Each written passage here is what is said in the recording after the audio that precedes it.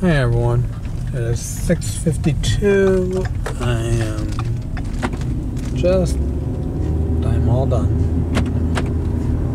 Just heading home now. It started raining a few minutes ago. It wasn't raining when I left the house.